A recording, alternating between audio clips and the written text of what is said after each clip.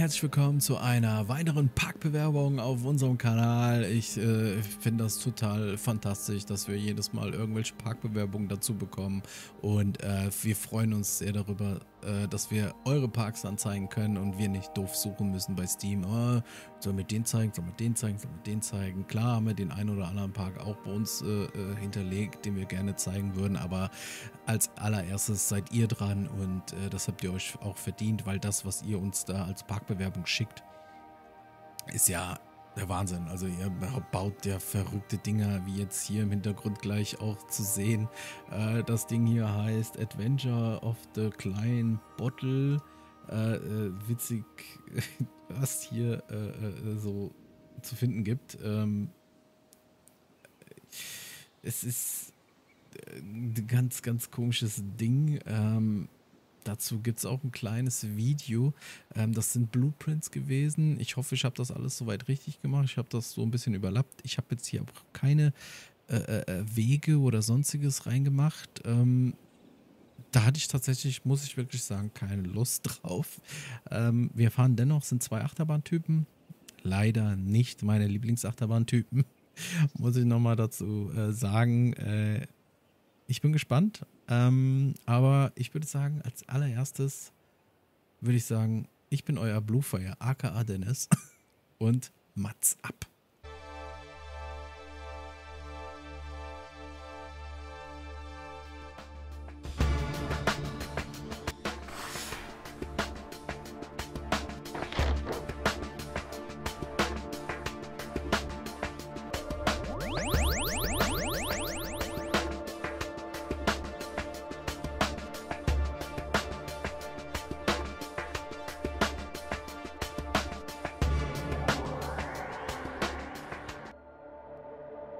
Es gehören endlich dahin gewisse unberandete Doppelflächen. Man kann sich von denselben ein Bild machen, indem man etwa ein Stück eines Kautschukschlauches umstülpt und nun so sich selbst durchdringen lässt, dass bei Zusammenlegung der Enden die Außenseite mit der Innenseite zusammenkommt. Nowadays we can describe the Klein bottle more precisely. It is a non-orientable two-dimensional manifold. There is no outside or inside. It can be immersed into Euclidean three space with a self-intersection.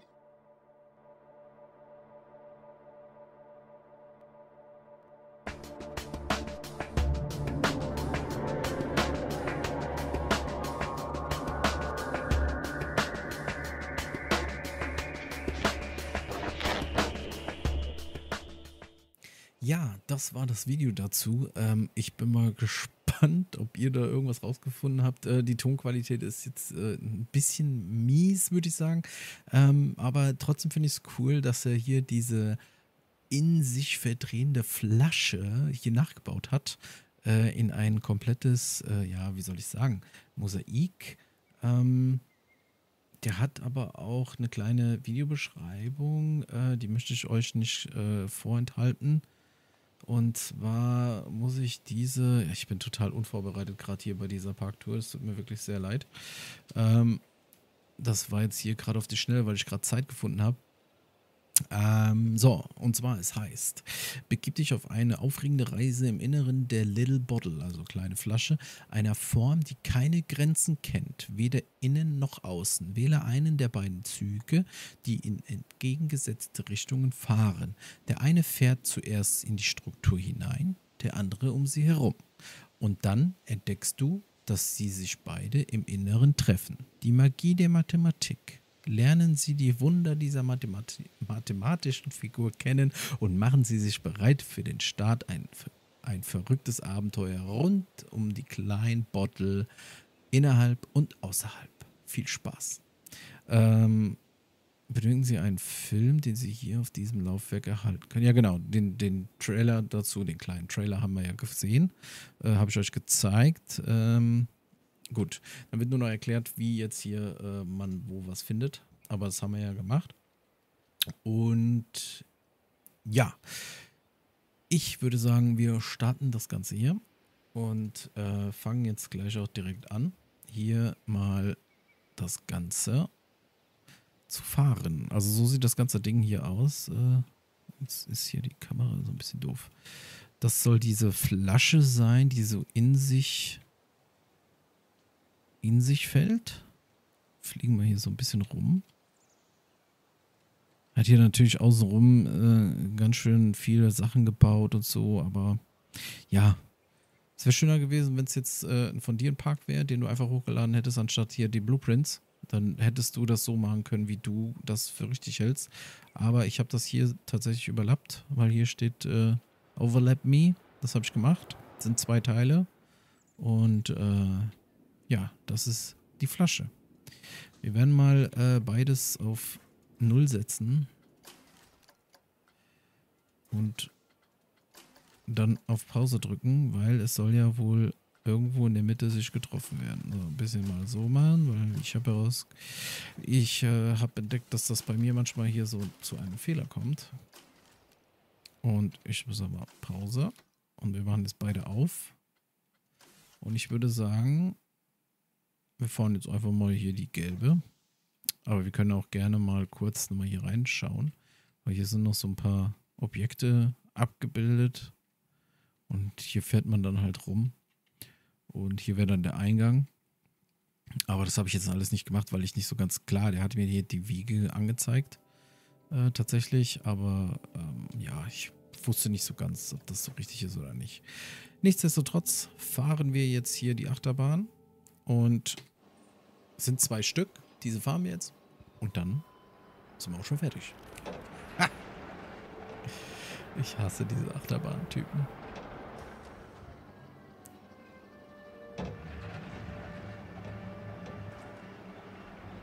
Also es gab jetzt keinen Soundtrack, ich habe tatsächlich Musik mit eingebaut, ne? Das gehört jetzt nicht dazu. Ich habe Sci-Fi-Musik ausgewählt. Zwei verschiedene. Glaube ich.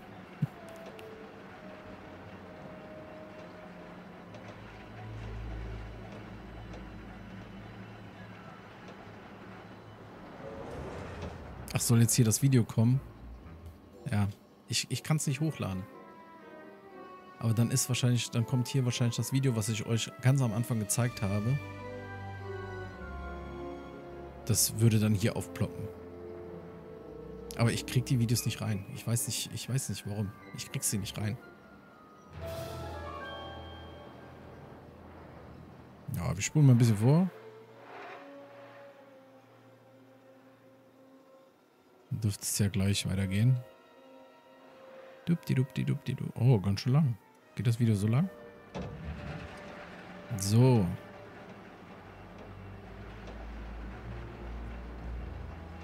Und dann fahren wir hier gemütlich wieder aus der Halle raus.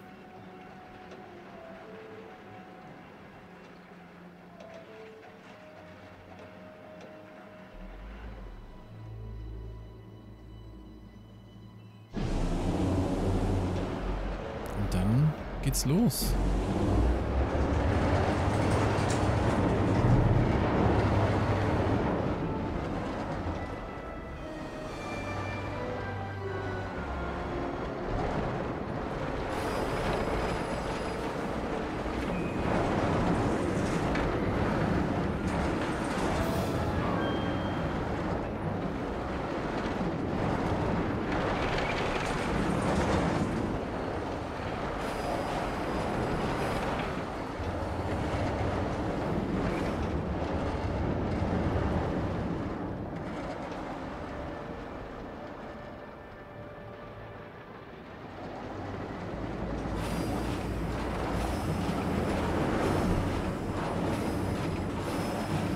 Bisschen verrückt finde ich das Ganze tatsächlich. Oh. Aua. Gut. Dann machen wir hier wieder Pause. Also ich äh, äh mag die, die Idee, finde ich wirklich sehr, sehr cool. Aber die Fahrt war ja halt, ne? War halt wie sie ist, ne? Das muss man leider so sagen. Äh, aber die Idee ist wirklich sehr, sehr cool. Ähm, mag ich sehr. Mich es natürlich mehr gefreut, wenn du dir die Mühe gegeben hättest und hättest das Ganze so außenrum als Park hochgeladen, anstatt Blueprints. Vielleicht machst du dir das, äh, nimmst du dir das zu Herzen und machst es vielleicht mal. dass du dir den kompletten Park mal äh, so baust, wie du es dir gerne wünschst oder wie er auszusehen hat. Fände ich cool. Äh, soll auch nur so als Tipp sein, musst du nicht, aber äh, wäre jetzt hier in dem Fall natürlich besser gewesen, finde ich jetzt persönlich.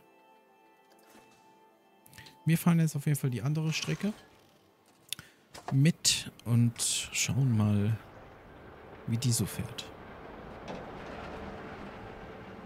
Gut, das Ganze kennen wir hier quasi. Jetzt kommt wahrscheinlich gleich wieder das, das Video. Da spulen wir vor. Ist echt doof, ne? Ich verstehe es nicht. Ich, ich habe es schon beim letzten, beim äh, Subnautic Exploration habe ich schon gesagt.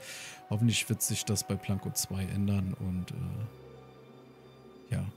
Was ich beim letzten Video gar nicht erwähnt habe, äh, ich habe es mir schon lange vorbestellt, ne? als der Release kam. Äh, Planko 2, äh, falls ihr es nicht wisst, kann man schon vorbestellen. Aber ich denke mal, ihr wisst das schon. Äh, ich habe es gar nicht mehr auf dem Schirm gehabt. Ich hoffe, diese Pakto kommt nicht so spät raus. ich weiß gar nicht, ob ich die überhaupt sonntags bringe. Vielleicht bringe ich die mal so in der Woche. Weil so eine wirkliche Parktour ist das ja jetzt hier auch nicht. Ist ja mehr so eine Achterbahn. Ähm, was uns jetzt aber auch nicht stört. Also das zeigen wir auch. Also wie jetzt hier der, der, die, die ähm, Parkbewerbung von Biertastic oder von Benutzername war ja auch nur eine Achterbahn, ja. Aber halt alles schön gemacht. Was hier auch gemacht worden ist, ne? Das ist auch schön gemacht, gar keine Frage.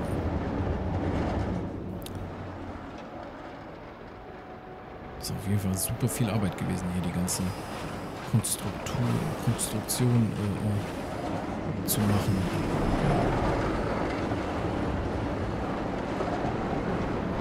Jetzt gleich kommt die zweite Achterbahn und treffen die sich wieder in der Mitte.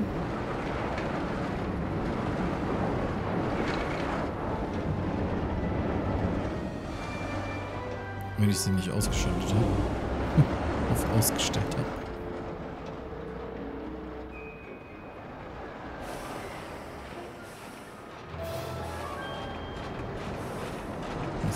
zu fahren. Ich glaube, ich habe die auf Stopp gemacht. Aber egal. Das ist so tragisch.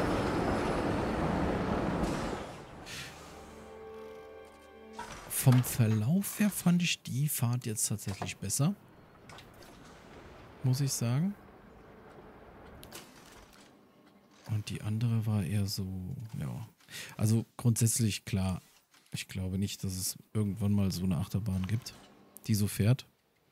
Aber es ist auf jeden Fall sehr interessant, mal sowas gesehen zu haben. Also hier hat sich einer wirklich Gedanken gemacht und äh, hat sich wirklich gedacht, ich baue das jetzt nach, da baue ich eine Achterbahn rein. Und dann hat er hier noch so einen Lift, äh, so ein, so ein, so ein ähm, ja, Skilift hochgebaut. Und dann hat er sich bestimmt gedacht, hier so eine Plattform zu machen. Mit ein paar Shops. Wäre doch cool, oder? Kann man sich hier so hinstellen. Kann man hier so schön seinen äh, Hamburger snacken. Und dann kann man sich hier drinnen die ganze Fahrt angucken. Das ist schon, schon Bollwerk, ja. Schon Wahnsinn. Schön, schön. Ja. Sowas zeigen wir auch. Ähm, ja, ich, viel gibt es ja nicht mehr zu sagen. Ähm, eigentlich bin ich fertig. ja, die Pakto ist vorbei und äh, waren zwei Achterbahnen, die sind wir beide gefahren. Äh, tolles Konstrukt. Ähm, sehr viel Arbeit, kann ich mir sehr gut vorstellen, dass das viel Arbeit war. Diese Flasche tatsächlich so ein bisschen hinzubekommen. Wie was ich aber noch machen kann, ist von oben mal zu gucken. So sieht das ganze Konstrukt von oben aus. Also man sieht hier den Flaschenhals, ne, wie der dann in die Flasche so reinläuft. Und hier dann wieder raus und dann wieder in die große Flasche zurück. Also ist schon, schon sehr viel Technik dabei, das so zu konstruieren. Also schon, schon schön. Oh ja, ist auch ein schöner Bild, ne? Mit der Sonne, mit dem Sonnenuntergang im Hintergrund. Sehr, sehr schön. Ja, das soll es von mir, von uns gewesen sein. Ähm, es war jetzt keine klassische Parktour, deswegen weiß ich nicht, ob diese jetzt Sonntag oder halt in der Woche irgendwann mal kommt. Ich vermute eher mal so in der Woche so, weil waren jetzt oh, 13 Minuten ist jetzt auch nicht, äh, oder haben wir jetzt auf der Uhr, ist jetzt auch nicht gerade die äh, super Parktourzeit.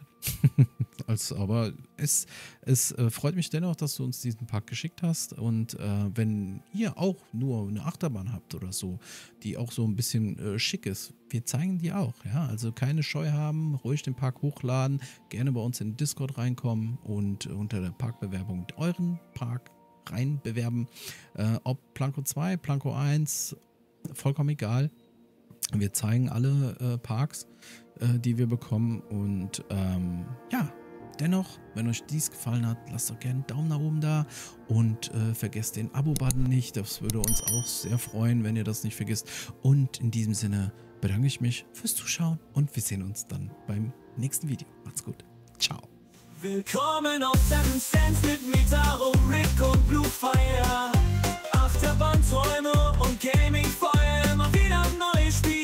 Gemeinsam bauen wir Welten hoch hinauf in Planet Coasters Magie. Drum abonniert und seid dabei für mehr von dieser